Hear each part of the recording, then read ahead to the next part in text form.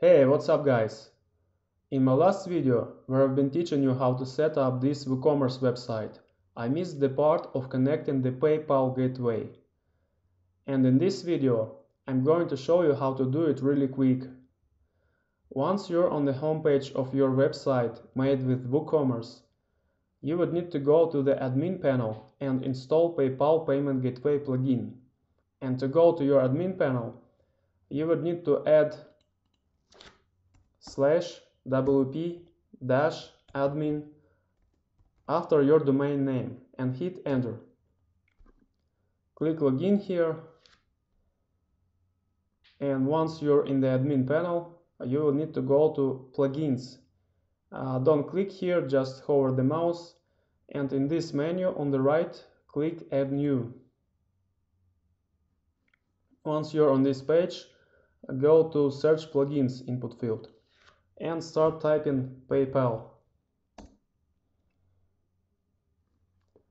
Once the plugin is found, uh, you would need to set up the first one, WooCommerce PayPal Checkout Payment Gateway. Click Install Now. Once it's installed, click Activate.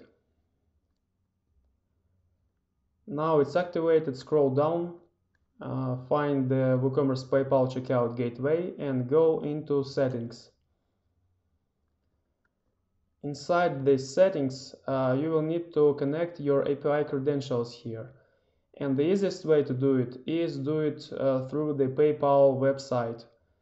And here you can see this big blue button. All you need to do is click to this button. Now you will need to specify your PayPal email address.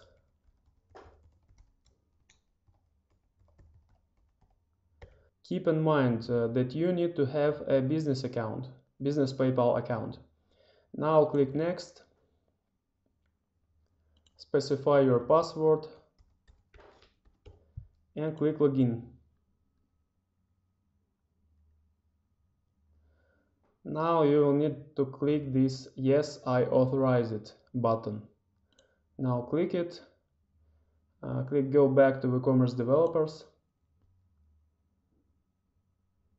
And now click That's my site, redirect me. Of course, check if it's your site.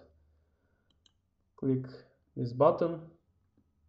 And once you're here in your website, uh, you can see the credentials has been filled in.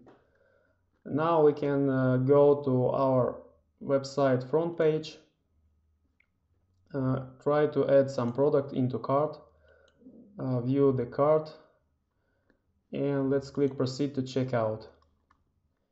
And here you can see you can pay via PayPal. So the PayPal payment gateway is now installed into your website. Congratulations! Thanks for your time and see you in the next video.